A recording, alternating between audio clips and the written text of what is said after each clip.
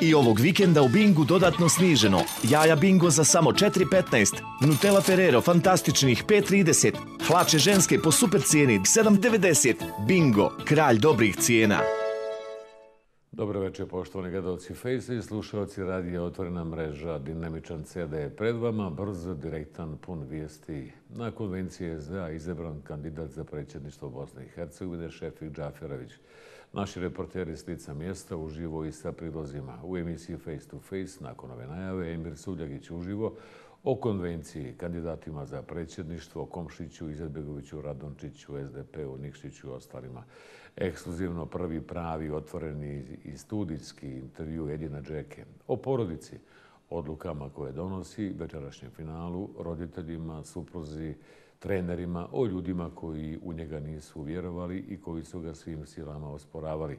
Agent Tanina konvencije SDA pucao svim konvencionalnim i nekonvencionalnim oružjem. Najveći narodni pjesnik, Alisa Šantić, rođen prije 150 godina. Malo kulture. Pitanje za vas.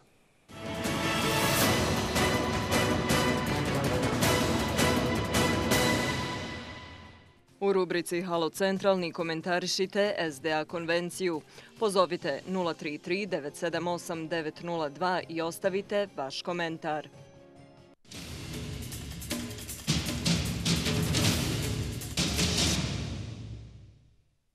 U centralnom pitanju odgovorite. Izetbegović i Radončić su se već nagodili dogovorili da 096240100, ne 096240101. Glasati možete do petka 1. juna do 17 sati.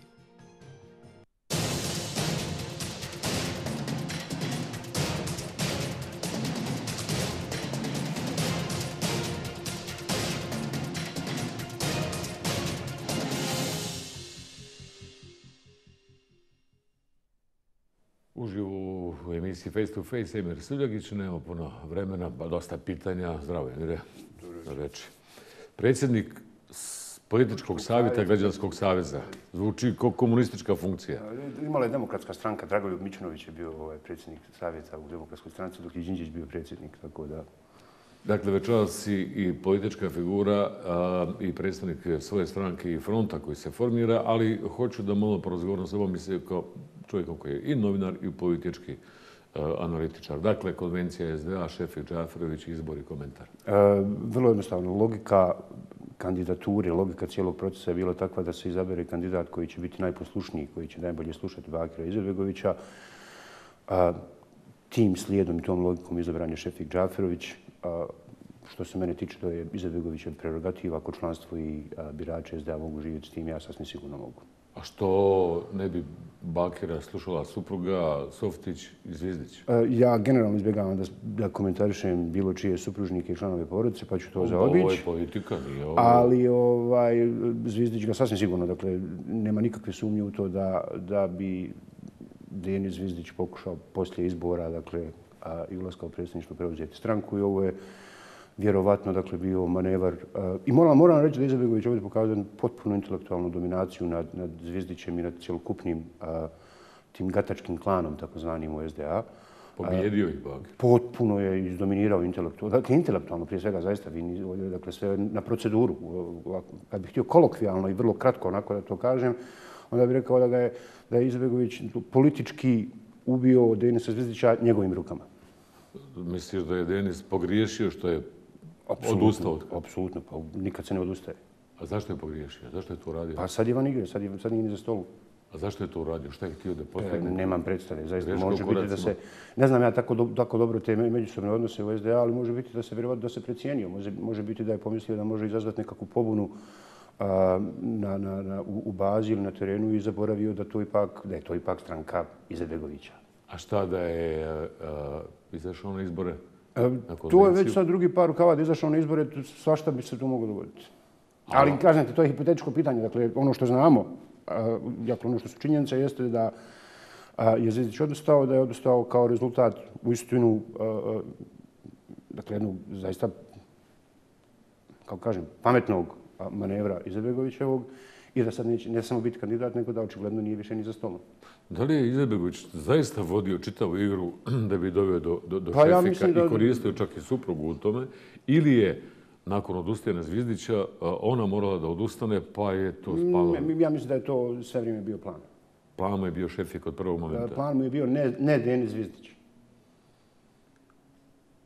A svejedno, kod, ajmo, ajmo, supruga je bila plan. Pa ne znam, to zaista kažem ti, zaista ne znam, ne znam kako. Što se toliko...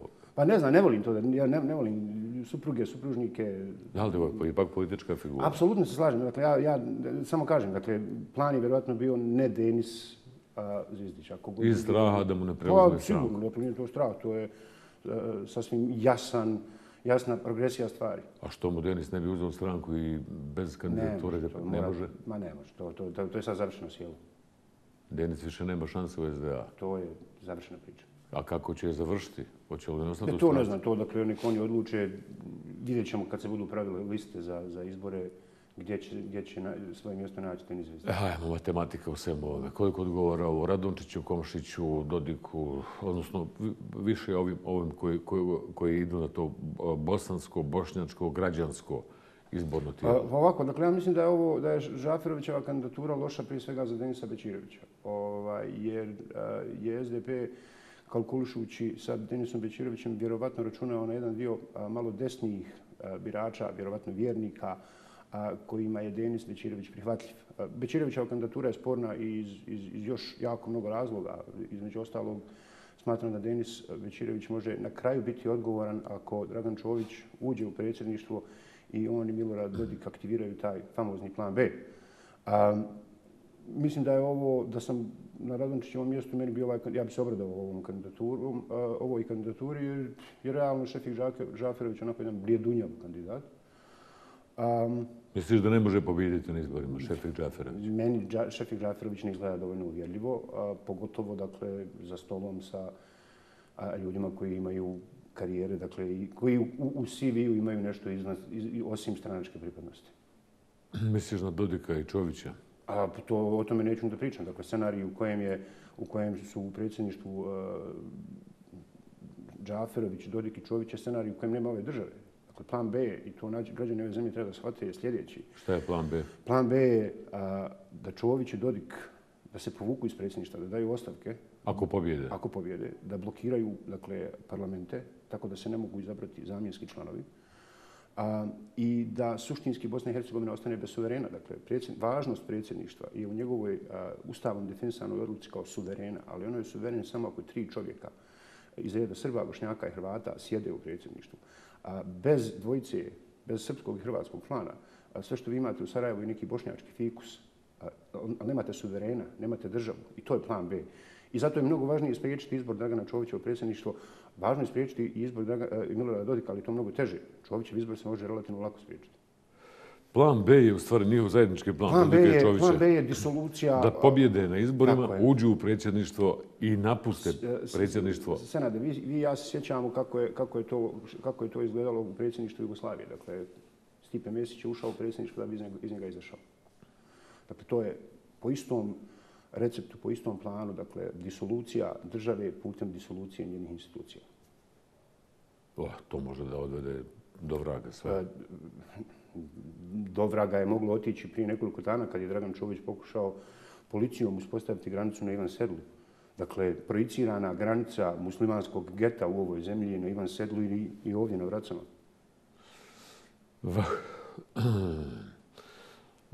Bosansko, bošnjačko, građanski i glasovi oni koji vole ljevicu se sada rasipaju na, na ogromnom broju kandidata. U toj varijanti je... Dva, tri, četiri.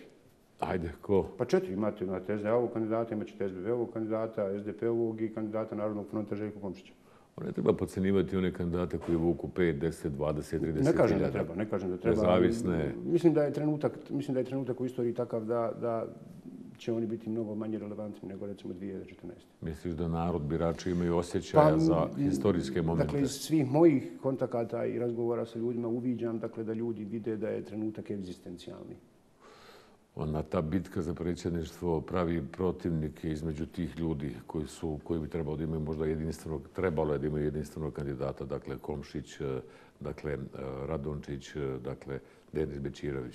Kako to, mislim, ne mora baš Radončić, ali ovom pogotovo varijanta SDP-a, DF-a i GS-a, koja je počela sa Jahorinskom deklaracijom.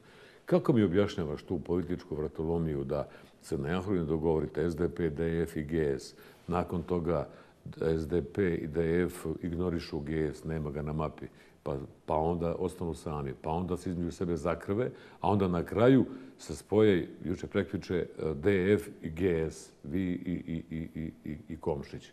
E, nama je u GS-u od samog početka, dakle mi smo mlada stranka i mi smo tek prije nekoliko dana proslavili dvije godine. Obilježili, nismo proslavili. A nama je u svakom trenutku država bila važnija od stranke, od GS-a. I radili smo stvari za koje smo mislili da su dobre za državu po cijenu štete po građanski savjez. A, to je jedna stvar. Druga stvar, predsjedništvo GS-a je donijelo odluku a, da podržimo a, Željka Komšića za, za, pre, za izbore, na izborima za predsjedništvo a, i donijelo, donijelo ju je jednoglasno. A, treća stvar, ako je bilo ko mislio, a čini mi se da je jako mnogo ljudi računalo s tim, da će lični animoziteti ili lične razmirice, to više na kraju krajeva nisu ni, ni, ni animoziteti nikakvi, lične razmirice dvojice ljudi iz GS-a dovesti do toga da GS radi nešto na korist, u korist štete zajedničke naše i, i da radi nešto protiv ove države, a, mislim da su se prevarili. Dakle, nas je sa Željkom Komšićem, reću to krajnje otvoreno, pomirio Dragan Čović.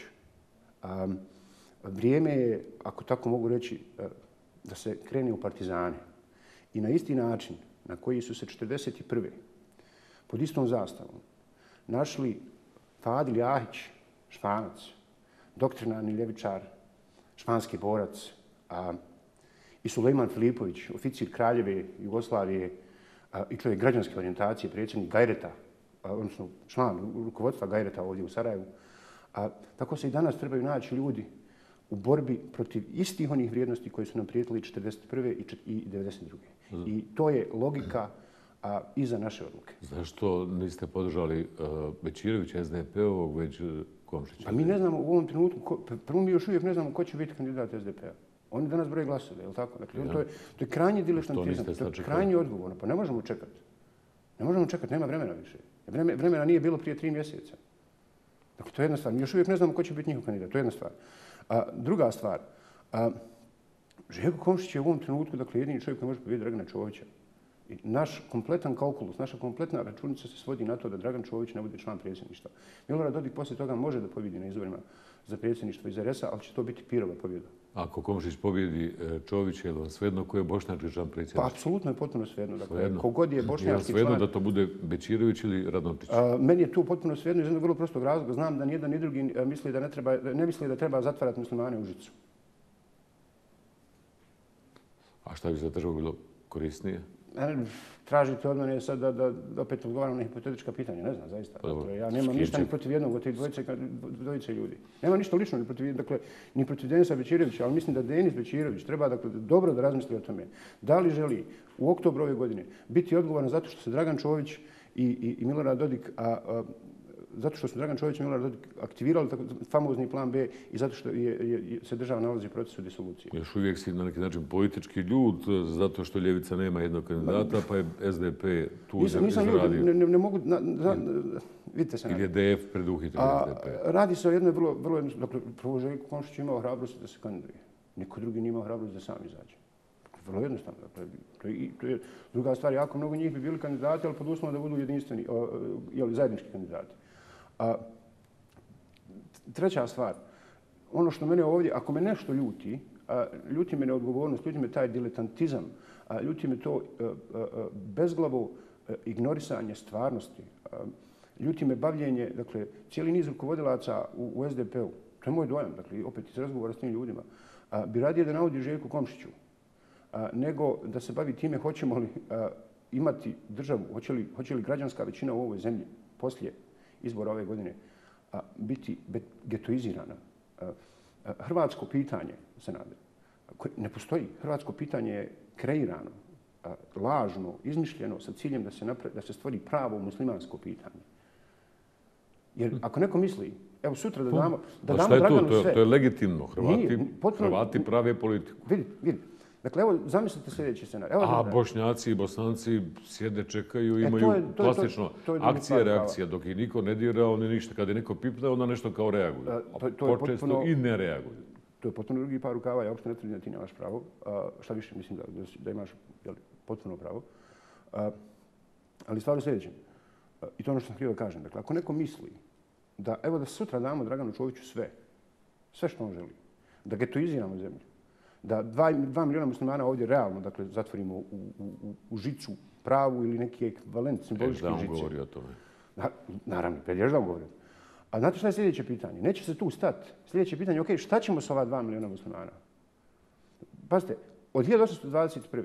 do 1921. godine, od Krima do Anadolije, je nastalo de- 11 miliona muslimana. 5,5 miliona je ubijeno, 5,5 miliona je raseljeno, prognano i tako dalje. Dakle, tako se ovdje u ovom dijelu svijeta rješavaju muslimanska pitanja. Sljedeće muslimansko pitanje treba da bude pitanje bosanskih muslimana. To se može spriječiti ulaskom, e, dakle, isti- doslovno protjerivanjem Dragana Čovića iz institucija. Neobično da jedan od lidera građanske opcije e, govori o muslimanskom pitanju. E, Vrlo jednostavno, dakle, ja sam, ja zovem Emil Suljagić i ja sam u svakom trenutku a, najviše ono što mi najviše napadaju. Trenutno, kao i 92. je iz nekog razloga ponovo sporan moj i naš muslimanski identitet. Kad bude sporan naš evropski identitet, ja ću braniti i naš evropski identitet. Samo za kraj još jednom pitao sam, objasnio si, ali u februaru si rekao u bosanskom vjesniku kod nas ni Alija nije tražio treći mandat, a traži ga Željko Komšić. Komšić svoje ambicije smatra važnijim od države. Kandidaturom pomaže HDZ-u. To je ono što je Komšić očekivao, Čović očekivao. Dobro.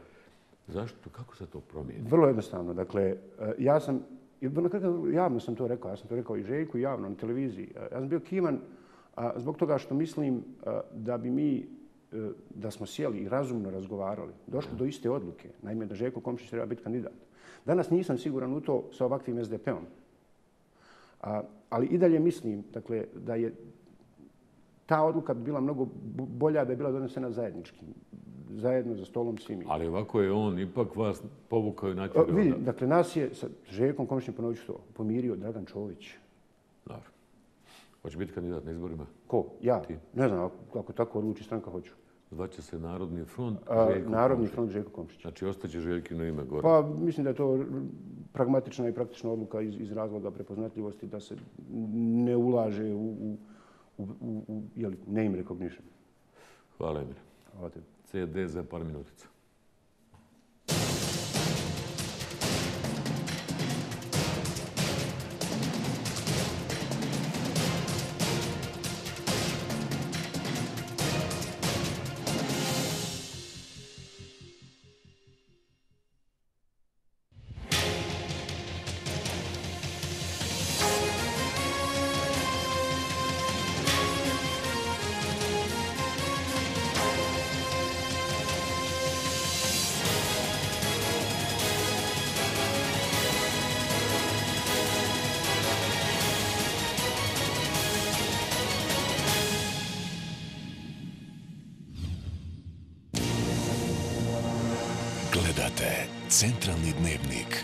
Senadom Hadžifejzovićem. Dobro večer, poštovani gledalci i slušalci. Šefik Džaferović je kandidat SDA za predsjedništvo Bosne i Hercegovine. Na konvenciji SDA danas je tijesno. Možemo slobodno reći jedva pobjedio Safeta Softića sa samo 17 glasova razlike. 22 listića su bila nevažeća. Ako dobra tema za novinare da pogledaju šta je pisalo na tim nevažećim listićima. Ili pisalo, ili brisano, ili dopisano. Kratko, da vidimo šta se dešalo prije konvencije. Ali Ezetbegović je bio predsjednik Socijalističke republike Bosne i Hercegovine. Postao je šef onima koji su ga zatvorili. Skoro pola BiH teritorije je dato na upravljanje Karadžićevoj strani. Taj dio se zove Republika Srpska. Na tom dijelu BiH, Bošnjaci i Hrvati su i dan danas građani drugog reda. Prihvatili smo nepravedni mir, vjerujući da je bolje pregovarati 10 godina nego 10 dana ratovati. I postupno, uz pomoć časnijeg dijela međunarodne zajednice ispravljali dejtonske nepravde. Kratki su bili periodi u kojima SDA nije bila okosnica vlasti. Tad su počinjene strateške političke greške koje do danas nismo uspjeli popraviti. BiH je najmanje zadužena zemlja u Evropi. do kraja 2018. godine odgovoriti na dodatna pitanja Europske komisije i time dovršiti upitnik EU. Početkom 19. dobiti kandidatski status i otvoriti proces pregovaranja po poglavljima. Pregovarački proces bi trebali završiti do kraja 2025. i postati ravnopravnom članicom Unije tokom 26. godine. Porast broja turističkih noćenja podiči sa 2 miliona 677 hiljada koliko smo imali prošle godine na minimalno 5 miliona u 2026. Dakle, to raste 20% godišnje i sigurno ćemo doći do one tačke ako bude mir.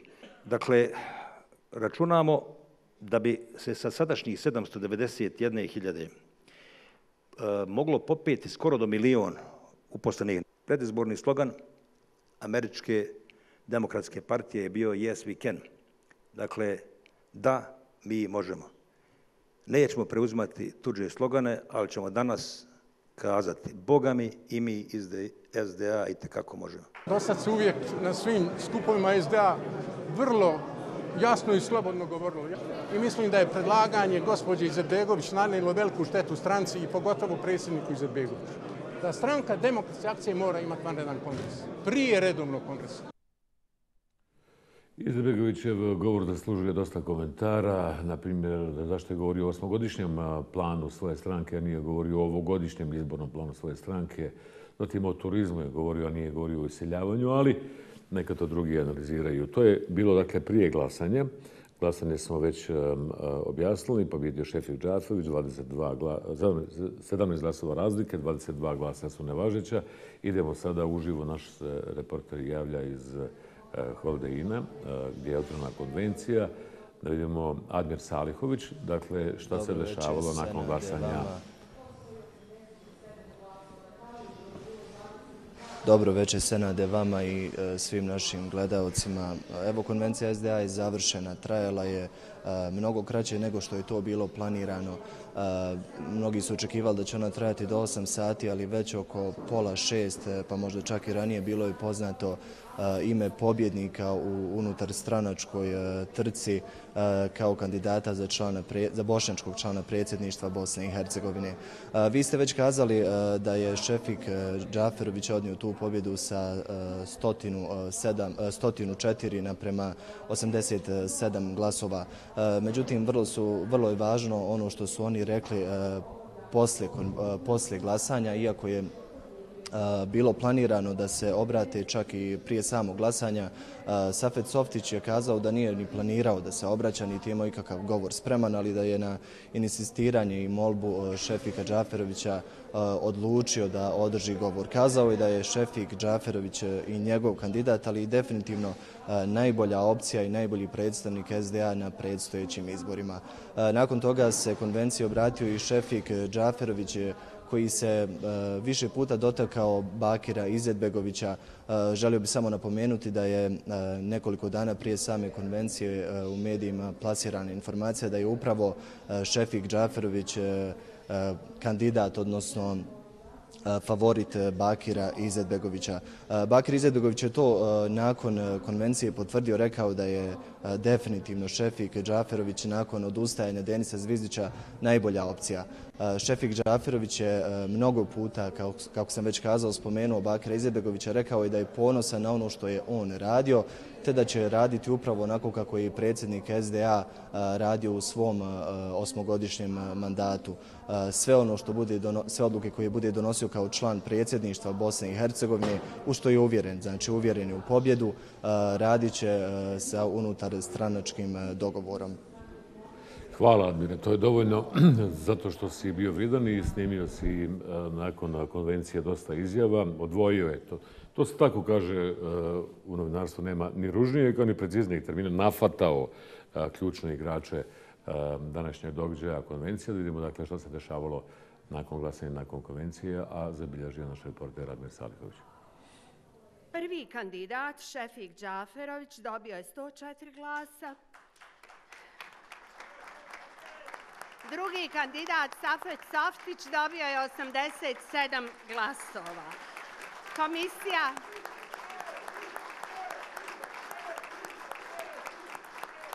Komisija konstatuje da je Šefik Džaferović većinom glasova konvencije izabran za naše kandidata za člana predsjedništva Bosne i Hercegovine ispred stranke demokratske akcije. Evo, gospodine Džaferović, prije svega čestitam vam na izboru kao kandidata SDA za, člana, za bošnjačkog člana predsjedništva Bosne i Hercegovine. Zanima me, gospodine Džaferoviću, da li, da li smatrate da je ovakav način izbora za e, člana predsjedništva e, možda podijelio SDA stranku?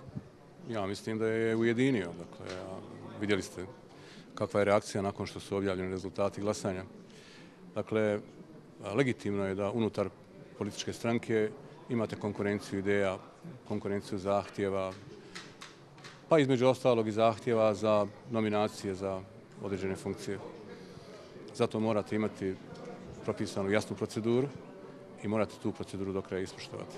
Nema govora o bilo kakvom nejedinstvu, o bilo kakvom razbijanju jedinstva, o bilo čemu što se ovih dana spinuje u javnosti. Da li može na izborni rezultat e, stranke demokratske akcije uticati to e, što je u posljednje vrijeme, evo svjedoci smo, nastala je PDA, nastala je stranka Narodi, e, Narodi pravda. Može li nekako glasačko tijelo podijeliti ono koje je bilo u stvari naklonjeno SDA stranci? Mislim da to neće uticati na izborni rezultat SDA. Te političke stranke zapravo nisu nastale kao produkt neslaganja sa ideologijom SDA. Dakle, radi se o, o, o bizarnim personalnim razlozima. Njihova pojava na političkoj sceni neće uticati, ja sam uvjeren, na izborni rezultat SDA. Evo, za kraj, molim vas, 2018, odnosno naredni mandat od 18. do 20. godine, do 22. godine, svi najavljuju kao presuda, presudan period za Bosnu i Hercegovinu. Šta ukoliko se, ukoliko pobjedite, ukoliko se sa vama u predsjedništvu nađu gospodin Dragan Čović i Milorad Dodik? Ne znam ko će dakle, biti izabran i da li će ta gospoda biti izabrana u predsjedništvo Bosne i Hercegovine. To je dakle, stvar ovaj, izbora. Ja mogu da kažem za SDA i za sebe da vjerujem da će biti izabran, da ćemo ostvariti taj izborni cilj. Mi ćemo nastaviti da radimo ono što je predsjednik Izetbegović do sada radio. Koji će biti vaš najveći uspjeh ukoliko budete izabrani? Šta će biti vaš najveći cilj? Po čemu biste voljeli da pamtite vašu, vaš mandat u predsjedništvu? Dakle, potpuna realizacija agende 2026 iz dijela nadležnosti predsjedništva Bosne i Hercegovine. Mislim da smo dobili jednog jako kvalitetnog i ozbiljnog kandidata i da je to dobitak i za ovu državu. Mi smo imali niz dobrih kandidata, među kojima je gospodin Zvizdić pomalo bio i moj favorit, ali evo, čudno jednu stvari na kraju krajeva napravio i mislim da da to nije treba uraditi. Konvencija SDA u Sarajevu, a opći sabor HDZ u Zagrebu, gost na saboru, predsjednik HDZ-a Bosne i Hercegovine, Dragan Čović, nema podjela među BH Hrvatima, rekao Čović. I dodao, Hrvati su jedini predvodnici evropskog puta Bosne i Hercegovine. Pogledajte kratko vijesti, a potom ekskluzivni intervju sa Edinom Džekom. Prvim ovakvog formata i otvorenosti.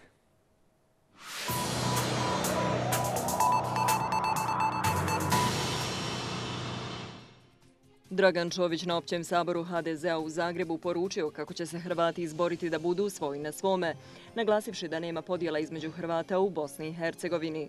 Dodao i da Evropska Bosna i Hercegovina nema alternativu i da će Hrvati u Bosni i Hercegovini bez obzira na sva iskušenja nastaviti biti predvodnici Evropske unije jer je Bosna i Hercegovina njihova domovina. Milorad Dodik prihvatio poziv predsjednika Južne Osetije da u augustu prisustuje svečanosti povodom 10 godina nezavisnosti ove za Kavkaske republike. S konferencije Panevropske unije poručeno, Bosna i Hercegovina je dio Evrope i njena evropska perspektiva nema alternativu. Na Brezovač je obilježena 26. godišnica odbrane Igmana 92. Brezovača 2018. U prostoru nekadašnjeg logora Trnopolje kod Prijedora obilježena 26. godišnjica formiranja logora i stradanja bošnjačkog naroda. Pripadnici granične policije HUM sinoć spriječili ulazak 23 migranta u Bosnu i Hercegovinu, nakon čega su migranti vraćeni na područje Srbije. U policijskoj upravi Ljubuški zatečeno beživotno tijelo muške osobe, koja je u petak lišena slobode zbog osnova sumnje o izvršenju više kaznenih dijela. Istraga u toku. Hiljade ljudi okupilo se u Kumrovcu, rodnom selu Josipa Broza Tita.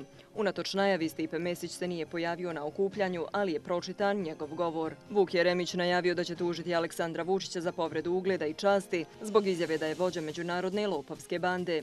Jeremić rekao da će tužbu podnijeti domaćem pravosuđu, a ukoliko ne bude adekvatnog odgovora, spreman je da s tim procesom ide do Strasbura.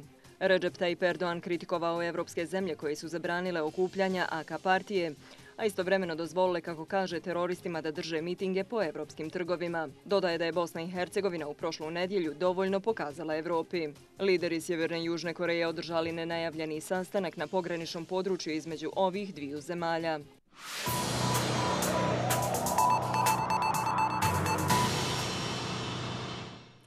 Dovoljna vam je ova doza politike. Oharite malo da politike malo se opustite. Sportsko je već e, šampionsko.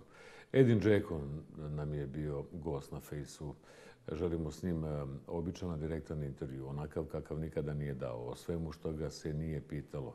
Intervju u kojem pa i na silu moramo početi da mijenjamo onu malo lošiju stranu našeg mentalnog sklopa, Kada neko naš uspije u svijetu, treba mu čestitati jer su njegove pobjede i golovi naše pobjede i golovi. Zašto u svemu dobrom tražimo ono malo, nešto loše, često nazove? Taj momak je stručio veliku Barsu, zamalo ušao u finale Rige prvaka i to sa klubom od kojeg se to najmanje očekivalo. Zašto nismo sposobni, zašto nećemo da ispričamo istinu o našem uspjehu, a kao mori da malo i dodamo, pa da napravimo legendu od naših pojedinaca koji haraju svijetom. Vidjeli ste u emisijama CD-a iz Amerike kakve dijamante imamo u svijetu kompjutera, inženjerstva, biznisa, nauke i kulture. Edin Džekon je jedini dijamant, ali sada najsjajnije blješti. Najbolji ambasador, predstavnik, pa i PR, marketing naše zemlje u svijetu. Ovakav intervju se nikada i ne daje, rijetko se daje, možda jednom u životu. Samo mu kad treba nabaciti loptu na glavu i eto gola intervjua.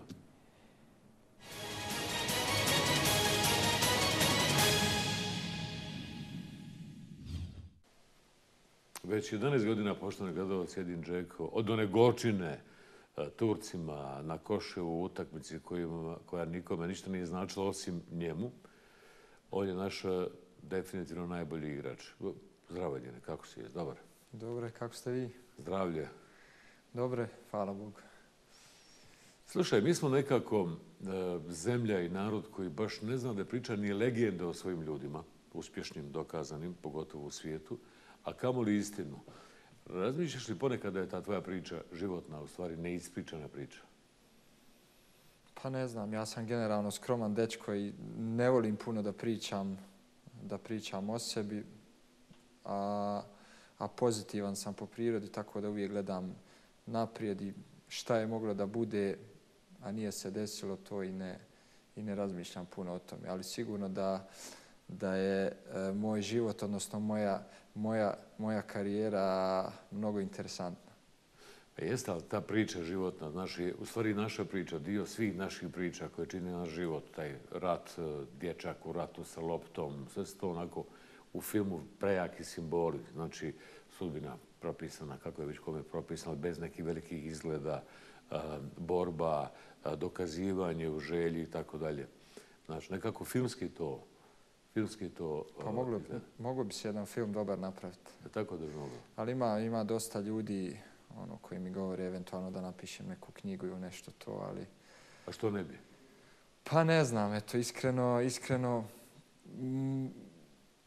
ne kažem da neću, ali možda još nije vrijeme da sačekamo još malo, pa jer i ako to napravim, hoću da to bude baš ono kako treba.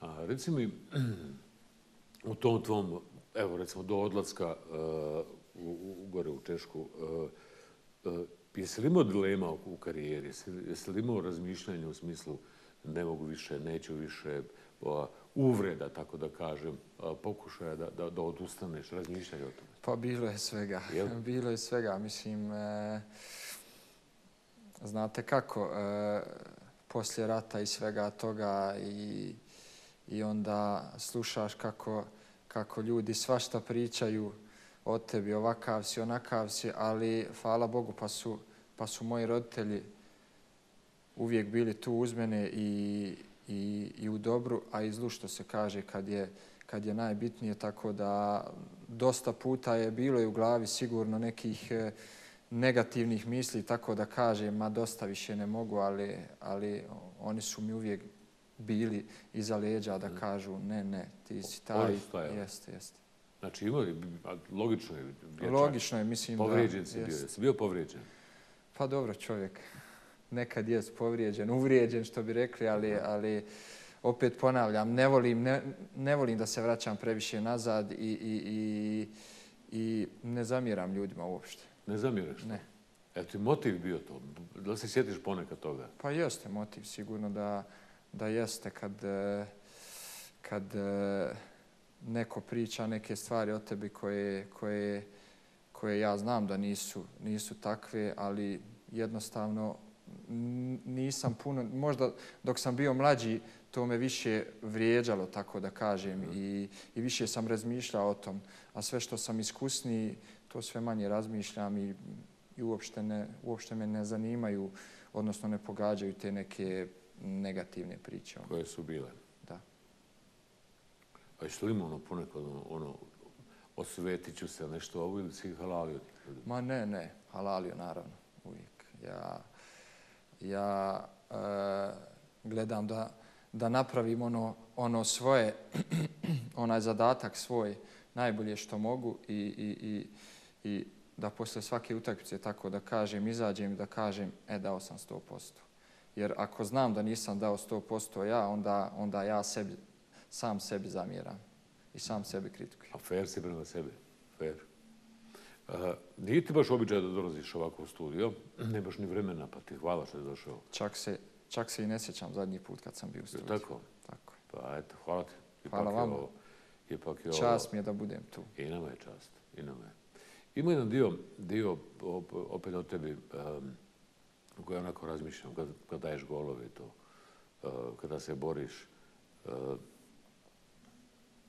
očekuje se od sportista da budu humani, čak i društvo na neki način to tjera i tako dalje. I ti pokazuješ jedan dio te humanosti tamo gdje se mora pokazati. I logično je da bi druge, drugima sugerisao da oni to isto urade, kao danas, su juče u roditeljskoj kući. Uh, ali ima jedan dio koji se i ne pokazuje, i ne treba ga pokazivati. Teško je biti human i pomagati ljudima. Pogotovo u društvu koje je, nažalost, naučilo na poklone, na donacije, na humanost, na čekanje, na dobijanje. Pa, vidite, ja, ja se opet vraćam na, na, na tu prošlost. Iako kažem, ne volim, ali vraćam se u prošlost eh, pozitivnu, s obzirom da, da ja sam prošao cijeli rat, bio sam tu u Sarajevu i znam kako je bilo, kako je meni bilo teško. Ali moji roditelji su uvijek, uvijek nastojali, bez obzira i na rat i na tešku situaciju, da uvijek meni i sestri, odnosno rođacima familiji koji su bili svi tu, jer smo, jer smo bili tu na otoci u 40 metara kvadratni stanu, bilo nas je ne znam nija više koliko i, i oni su uvijek nastojali da, da nam priušte sve koliko je, koliko je bilo moguće, bez obzira na situaciju vani. I ja sve danas što sam napravio i sve što radim van terena, humano tako da kažem, sve zahvaljujući mojim roditeljima koji su me naučili da takav budem. I ja sve što radim danas radim, radim punog srca. Kada donosiš odluke, to su teške odluke, to su nevjerojatno teške odluke, eh, da ne odiš u Chelsea, to sam uradiš ili, ili, ili porodično savjetovanje bude? Ili bude porodično? Pa bude, naravno, jer, e, jer sad sam i otac dvoje male djece i sigurno da, da treba da razmišljam i, i o njima i, i o svemu ostalom, s obzirom da, da nije, nije ko prije deset godina. Idem tamo, idem sam pa šta bude, naviknuću se, jel. Ali sigurno da je Chelsea bio veliki izazov. S obzirom da znam, znam kakav su klub, veliki klub, znam kakva je engleska premier liga, definitivno najbolja liga na svijetu i san svih igrača da zaigraju tamo.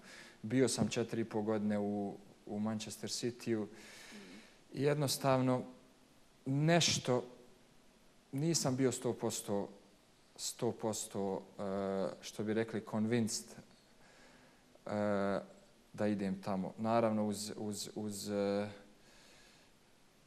sa svojom suprugom Amrom, sa roditeljima, sestrom, sa svima sam pričao i nekako niko mi nije, niko mi nije davao znakove tije da kaže ma idi 100%. I jednostavno sam odlučio da, da ostanem tu gdje jesam i mislim da na kraju nisam pogriješio. Ali si ušao u formalnosti, u pregovore, u naravno, razgovore, naravno. sve si ušao. Ali si istovremeno, to je vrlo zanimljivo, sigurno ljudi ne znaju, potpisao, nije potpisao, ali šta se dešava u glavi? Pa svašta se nešto svašta se nešto pisalo i istine i neistine i stvarno nije, nije mi bilo lagano. Nije bio lak period s obzirom da je bio taj neki pritisak na meni. Malte ne, jedan dan se pisao 100% sam već u Čelziju potpisao, sutra treba da radim ljekarski pregled, a mi recimo preko treba da igramo jednu utakmicu.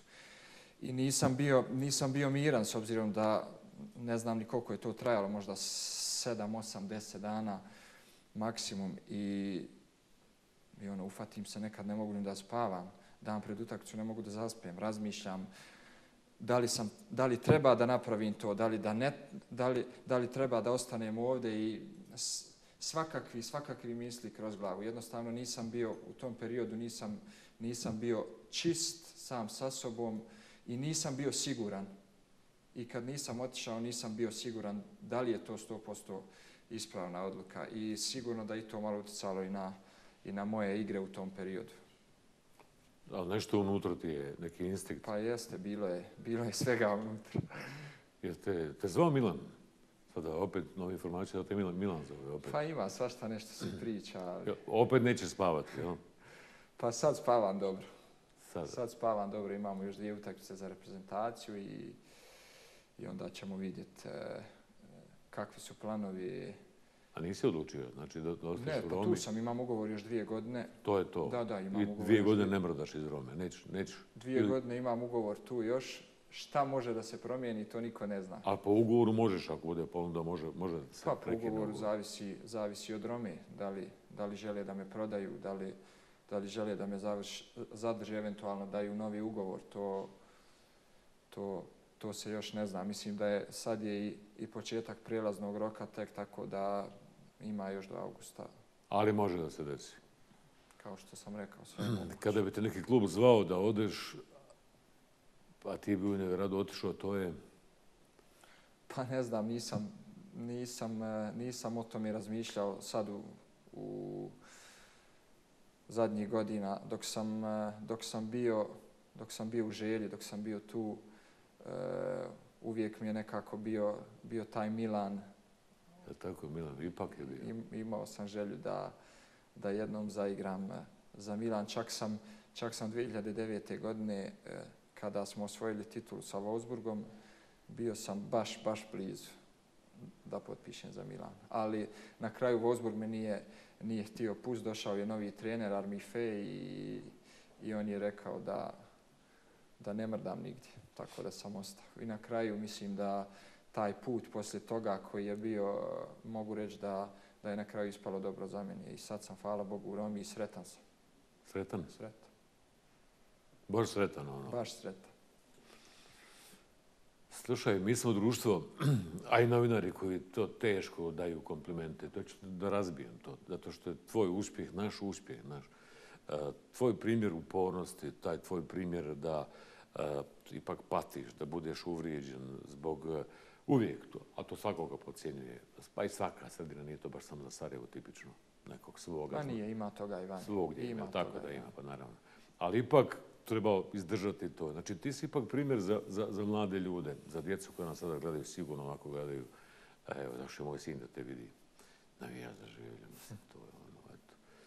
Zna, razumijem. Sarajevo je rane. Tako. Dakle, e, primjer si za tu djecu, znači, e, biti uporan, pretrpjeti sve, dokazati se, otići na, na, malte, na, na neviđenu Češku, na izvjesnost, eh, pa onda taj vozvor, pa onda takav, takav tim kakav je City, pa onda Roma sa upitnikom zašto. Šta je u stvari život? Pa ja recimo kad ste sad spomenuli Češku nazad, ja kada sam odlazio iz, iz želje, jel, svi su mislili da, da idem u Češku, da ću tamo da zarađujem neke velike pare, da sam otišao zbog toga. A ja sam u stvari otišao samo da, mislim, e, neću da kažem to, ali... ali, ali reci, reci ali e, mislim da... da ne vagaj. mislim da, da, da nisam otišao u tom periodu da, da vjerovatno ne bi, ne bi bio to što sam danas. Jer jednostavno, e, kod nas, nažalost, evo i dan danas, e, nema, nema takvih stručnjaka, nema, nema tih uslova koji treba, trebaju mladom igraču da, da sav svoj talenat, e, da ga unaprijedi još više i da postane bolji. Ja sam, hvala Bogu, zahvaljujući isto tako jednom strancu, Plišeku koji je bio tu u želji, koji me, koji, koji me je poslije svoje avanture u želji pozvao da li, da li da dođem, da li želim da dođem u drugu ligu Češke. Ja iskreno nisam, niti sam razmišljao koliko para ću da dobijem ili nešto, samo sam rekao idem jer znam da je to čovjek čim me zove, znači da želi da, da napravi nešto od mene, da mi pokaže taj neki, taj neki put, put koji, koji, jel, eh, koji vodi ka, ka tim e, najboljim. I, I hvala Bogu pa, pa se to tako desilo. I to je vjerovatno sudbina da on dođe tu i na kraju da me odvede gore i, i mislim da, da sam u pravo vrijeme otišao. Nažalost, nažalost e, opet kažem, e, ali nadam se da će se promijeniti nešto i, i, i ovdje kod nas i da će, i da će ovi mladi ovi mladi igrači, odnosno budućnost naša, da, da imaju koliko toliko bolje uslove nego što smo mi imali. To je pravi. Ali naučio sam ja i ovdje dosta toga. Šta si naučio? Pogotovo, pogotovo u, u, u omladinskom pogonu želje. Sjećam se, prvi trener mi je bio Jusuf Šehović i, i sjećam se svaki dan, svaki dan smo radili pored gola. Dvije ekipe su recimo igrali, a četiri, pet igrača je stajalo iza gola i radili su skip. Skip u mjestu. Znači, pravilno trčanje. Lijeva noga, desna ruka. I svakakvi ti nekih, nekih stvari i, i, i sigurno da, da, da, da na kraju sve što sam napravio, isto tako i zahvaljujući svim trenerima koji su mi bili e, u želji, odnosno u reprezentaciji Bosne i Hercegovine. Stao sam kod tih komplimenta koji mi teško, teško, kroz zube ponekad, ponekad procijedimo. Dakle, sjajan si. U top si formi. Što si želi, ti si, ti si sve bolji i bolji. Ima to veze, ima sa razmišljanjem futbal, razmišljanje, pa, ponavljanje situacije. Iskustvo sigurno da ima, ali kad spomenete komplimente, znate ko mi padne na pamet? Ko? Spaleti. Spaleti? Spaleti. Bivši trener ja. u, u Romi koji je sad u Interu volio je, volio je da me odličan je trener. Volio je da me kritikuje poslije svake utakmice. Ja, ja, I kad daš gola? Ja dam dva gola, on kaže, jesi zadovoljan? Kao u smislu, trebao si zabiti još dva. Sigurno da, da, da, da mi je i to davalo još, još neki, to, neki motiv više da, da budem još bolji. Ja sam mu jedne prilike rekao, ok, slažem se i sa kritikama, ali volimo mi igrači nekad i nas pohvaliti. Ja vidiš, ipak to utiče i u tim godinama. Pa sigurno, sigurno. To što si srušio našu Barcelonu, to sam ti halalio, jeli? ali uh, ta, priča, ta priča sa Barcelonom je stvarno priča o Davidu Golijatu. I ti si to zaista, zaista ubio, nije što si naš, što si u studiju, ti si to doslovce na svojim leđima iznio. Obje utakmice, znači ta, to kad Pikete lovi obara i to je baš simbolika obje te utakmice, taj penal na, na tobom. To je bilo veličanstveno. Kako je to malo falilo sa Liverpoolom da se ponovi? Pa jeste, mislim da napravili smo protiv Barcelone, smo napravili čudo koje niko nije očekivao. I, i mislim da u polufinalu protiv Liverpoola nismo otišli u finale, mogu reći samo zbog te prve utakmice koju, koju definitivno nismo, nismo odigrali na nivou jedne ekipe koja igra polufinale Lige šampiona. Nažalost je tako i mislim da, da još uvijek nismo svjesni kako smo priliku propustili. Ali je bila uzvratna utakmica sjajna. Bila je i borba. Vraćam se opet, kažem, dali smo šest golova u, u polufinalu, a ispali smo. Šest golova, tačno. Što je mladim ovima poruka? Znači, padaju naši ljudi ovdje, naša djeca pogotovo, u nekom su totalnom pesimizmu kao i društvo, nemaju volje, nemaju ambicije. To je nevjerovatno. Gledam to ponekad neku djecu za šest godina fejsa, šest i po, pa na ovako zaključim, ako djeca nemaju ambicije da budu TV zvijezde, no, ako to rade, jel? E, kako ima ambiciju da bude zvijezda u futbolu gdje treba ipak raditi, vježbati, biti uporan, tako da Pa sigurno da nije nimalo lagana sredina, prije svega. Ali isto tako mislim da, da svaki mladi čovjek treba, treba, ako ima neke snove, jel, nevezano, nevezano za futbal, za sport. Mislim da, da prije svega treba da zna da ništa ne dolazi samo. Da sve što želiš, sve što sanja, želiš da postaneš, treba da radiš i više nego što možeš. Ja sam, ja sam uvijek e, od početka, od početka svoje, svoje karijere i kad sam, e, i kad sam bio u želji s 13-14 godina, uvijek sam, ono, dođem na trening i pucam samo lijevom nogom. Inače sam dešnjak. I pucam samo lijevom nogom. Ono, pitaju su me što lijevom, pa eto, ono, hoću, hoću da naučim šutati lijevom. I malo pomalo, malo pomalo i sad, e, sad me pitaju ljudi, jesi ti ljevak i dešnjak? I sigurno da je to jedna, jedna prednost za svakog napadača na svijetu. Da zna da igra sa, sa obje noge. To je, malo se sad falim.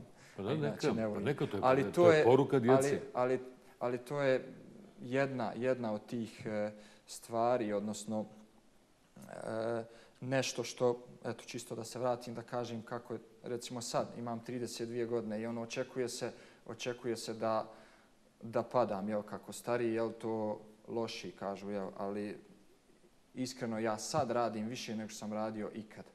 Prije treninga, prije svakog treninga pola sata sam u teretani, poslije treninga e, pola sata radim vježbe prevencije protiv povrijeda i, i mogu da vam kažem da, da se nikad nisam bolje osjećao i nikad nisam bio spremni. Iako, su mi, iako sam bio i mlađi i, i možda sam mogao i, i više da trčim, ali, ali nikad spremni nisam bio. Zapamtite, djeco, sada radi više nego ikad.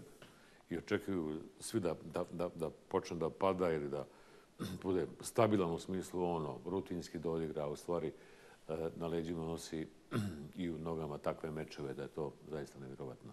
Kratko, za kraj, reprezentacija. Sada si ti tamo, najstari tamo, jesi sada? Tu si negdje. E, Viš kako to brzo prođe? Mislim, mislim da jesam. Ne mogu da nađem starijeg. Ja, viš kako to brzo prođe? Da. Što se sjećam, prije rata sam bio najmeđi urodni dnevnik u Jugoslaviji. Počne rat, postaneš najstariji odjednom, zato što se to ovde promijeni se. E, kakva nam je budućnost? Kako to prosjenečki radi? Imamo mi tu?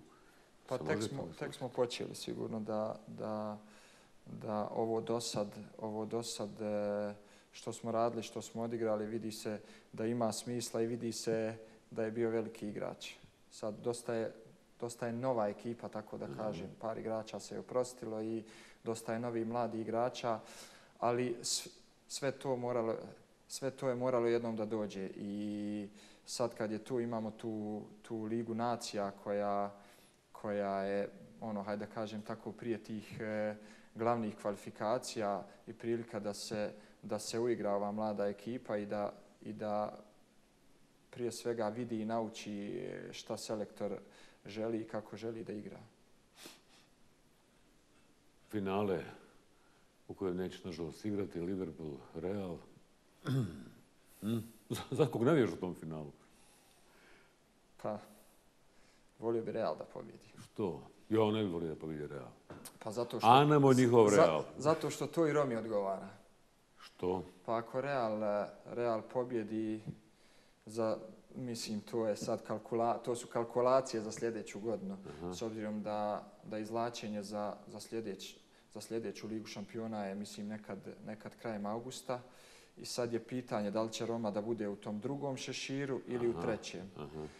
Ako Real pobjedi, onda će Liverpool biti iza nas u tom šeširu, tako da su nam mnogo bolje šanse da, da budemo u drugom gdje su mnogo jače ekipe. Jače, jače, da. a dobijate onda, onda bi nam bila vjerovatno manja, manja konkurencija za, mada u Ligi šampiona sve ekipe su, sve ekipe su dobre ekipe, tako da, da ali bilo bi dobro da, da budemo u tom drugom šeširu i, i zbog toga bi Dobro. volio da... Razumijem.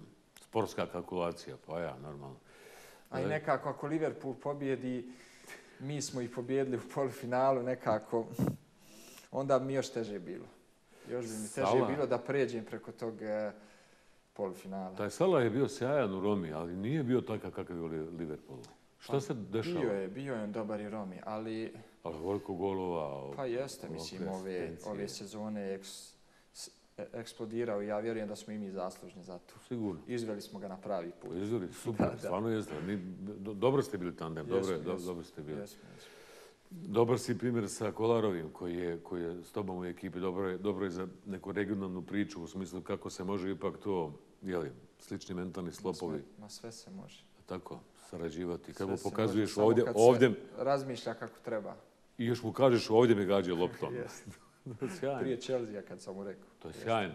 To je sjajno. To, te, to su detalji koji stvari život znači. A mi se znamo već, bili smo četiri i pol godine u, u City, tu smo, tu smo već godinu dana i, i ono, znamo se, kad ide na centar, više znam gdje će lopta da završi. O, osjetiš I ono, bukvalno samo taj klik, ono, pokaže mi je dovoljan da, da vidi gdje, gdje hoću da da loptu. Hoću da te na kraju emisije proglasim, proglasim pobjednikom. Znači, nakon takve drame, rata, um, ružni riječi, um, kao svakog ko hoće nešto, on dokazuje se ni podištavanja. Ipak to pobjediš, pobjediš, pobjediš taj mentalni slop u sebi i to loše u sebi. To je stvarno velika pobjeda, prava ljudska pobjeda i dokazana na sportskom terenu. I ponosni smo što to tako radiš i, i, i, i, i zabiješ i I drago mi je da se ljudi mijenjaju, ljudi odnos su prema tebi promijenili baš u tom smislu, dakle, prizna si, to je to, top si, svjetski si je naš. Hvala vam. Nadam se da ćemo biti bar još, ne, bar još par godina. Bićeš, bićeš sigurno, ako Bog da. I hrabar si. Mogu Radimo na tome. Hrabar si, mogu ti reći da, to tako sa muške strane, treba biti hrabar i onako odlučiti u tim godinama u tom naponu s parama, sa honorarima, svjetski momak da, da odluči da se oženiš. To je ono, malo, za bilo koju, to je ipak jaka. Kud nisam prije? Žao što nisi prije. Pa ne, ono, kažu obično momak, kad živiš, izlaziš to, ali ja sam, ja sam sad presretan u svakom, u svakom smislu te riječi. I, i svi su mi govorili nekako, ono, vidjet ćeš kad dobiješ, mama pogotovo, nekad kad je, mada rijetko se desi da je nasekiram i to, kaže vidjet ćeš sine kad budeš imao svoju djecu. I sad tek vidi. I to je baš tako. Hvala te. I svaka čast i ponosni smo. Hvala vam. Edin Džeko. The best of Bosnia.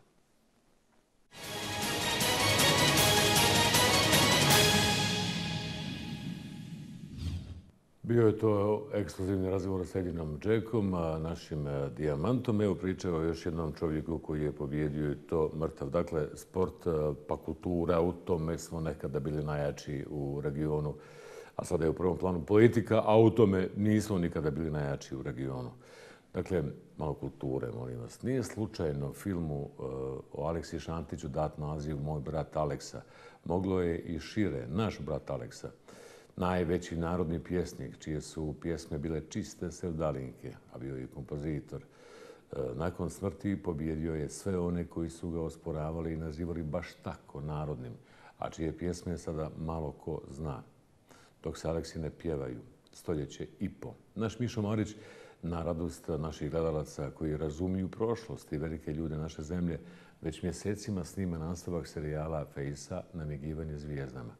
Primjer mladima, kako dečko od 79 ljeta može raditi, snimati i montirati čak po 14 sati dnevno svaki dan, a snimamo u Sarajevu, Novom Sadu, Srbiji, Dalmaciji, Hercegovini, snimat ćemo u Londonu.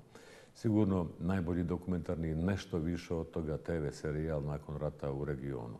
I pored tolikog posla, u povodu 150 godina rođenja Aleksa Šantića, čovjeka koji je imao i eh, urođeni i stečeni osjećaj za ljude druge vjere i nacije, Mišo je uspio, pored toliko obaveza i strašnog ritma, snimiti i montirati emisiju o Aleksiji koju Face premijerno emituje sutra u 18 sati. Zapamtite taj termin. Baš nako fino vrijeme, nedeljno popodne, bit će kiša, 18 sati Face. Obavezno to pogledajte. Nema takvih emisija na našim televizijama. Sve je tursko, sapunasto, špansko, sapunica, strano, krvavo, ništa pitomo ljudsko na ekranima.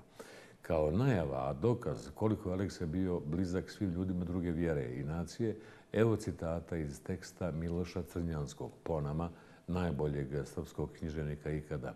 onoga koji je tragediju Srba, ne samo u seobama, dočarao najrealističnije. Crnjanski, koji Aleksu viđa na samrtnoj postelji, 1923. godine piše Poboljevao je, ali se nije tužio. Jedne noći, pokazujući umrak, izgovorio mi je 114. suru iz Kur'ana. Skloništa tražim, skloništa od uduvala, od izdajnika koji duva u grudi ljudske, skloništa od džina i ljudi. Sutra, 18 sati, Face premijerno. Rođen u Mostaru 27. maja 1868. Umro u Mostaru 2. februara 1924. Ubijen u Mostaru u bronzi zloljeta 1992. Uprko svemu, Aleksa Šantić je još uvijek najživlja zvijezda na lijepom nebu Mostara.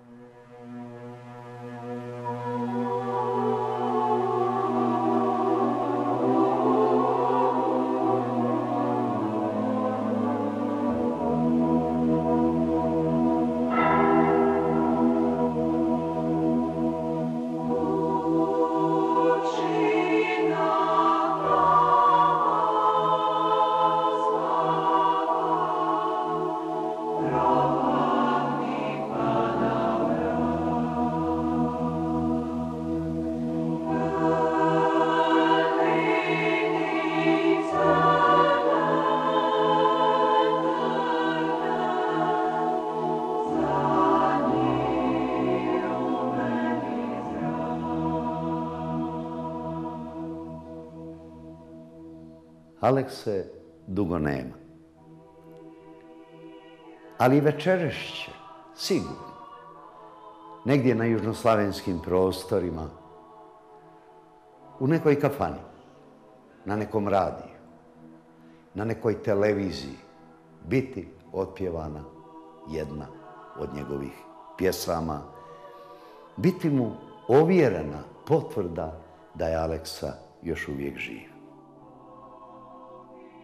Ne postoji grad na južnoslavenskim prostorima koji se tako ljubko, vjerno i rodbinski prisno poistovjetio i ponosio svojim pjesnikom, niti pjesnik svojim gradom, kao što su Mostar i Aleksa Šantić.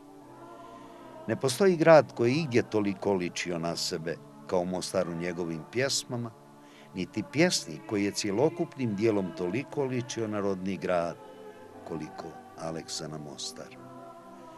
Preživjeli su hropac dva carstva i krva porod jedne monarhije, podjednako uspravni i gordi u uzajamnoj ljubavi i poštovanju.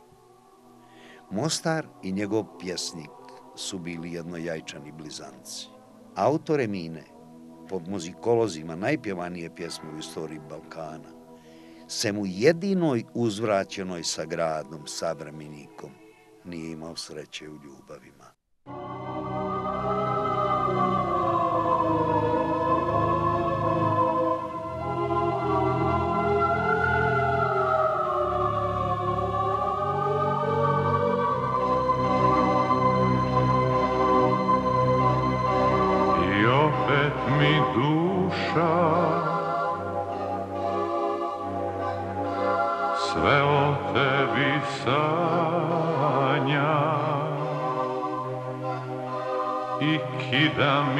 Srce. I za tobom gine. Što te nema što te nema što te nema. Bog zna gdje si sada da oživiš još te. Ali dragi spomen, negda nje milošte,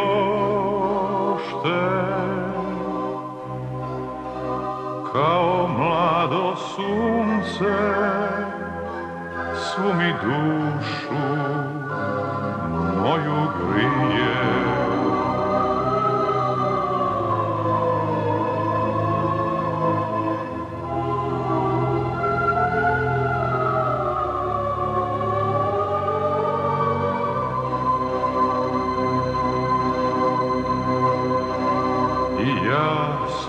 čujem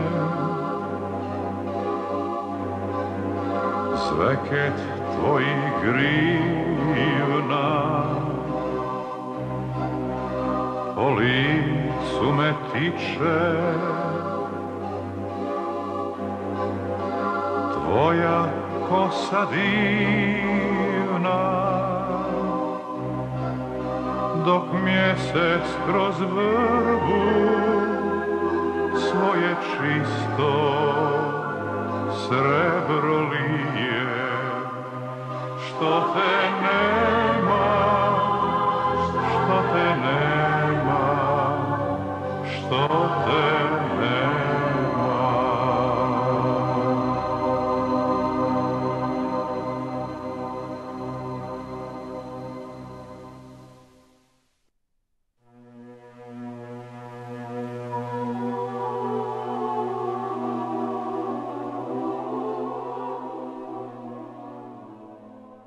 u Ćorovića kući je umro. Sodra su ga ponijeli članovi Hrvatskog Hrvoja i srpskih gusala, a dok je posmrtna povorka prolazla ulicom Cernica s minareta džamije, oglasio se mu jezin, proučivši pjesniku oproštajnu molitvu.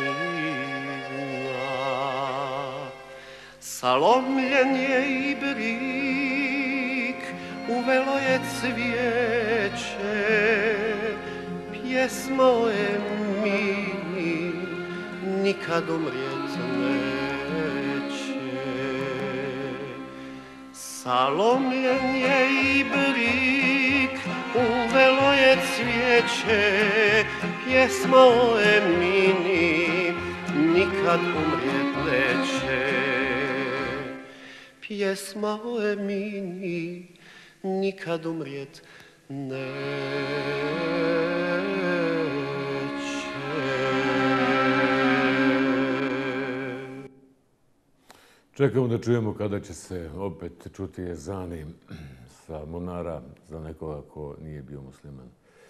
Vraćamo se u surovu stvarnost. Bila konvencija. Na konvenciji naš agent evo ga sa raportom i našim dodatkom. Konvencija će početi tek nakon konvencije.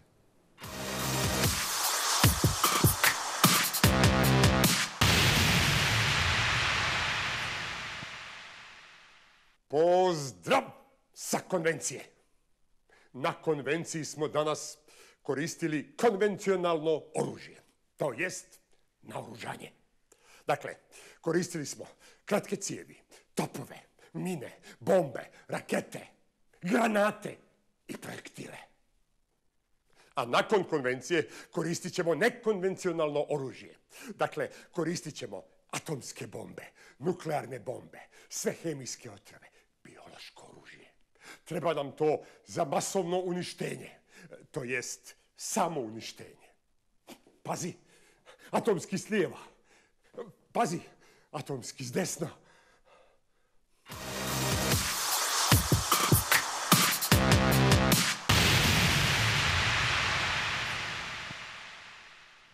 Programska napomena, sutra 18 sati, Face, eh, specijalno premijerno Aleksa Šantić, eh, film Miše Marića, a u ponedeljak eh, ekskluzivno na Face od 18 sati iz Zenice, direktno prijateljska futbolska utakmica Bosna i Hercegovina Crna Gora, 18 sati, ali specijalni program počinje od 16.30. Obavezno to pogledajte, opet jedno fino popodne. Centralno pitanje, rezultati nakon dva dana glasanja. Izetbegović i Radončić su se već nagodili, dogovorili da čak 100%, ne 0%. Glasati možete do petka.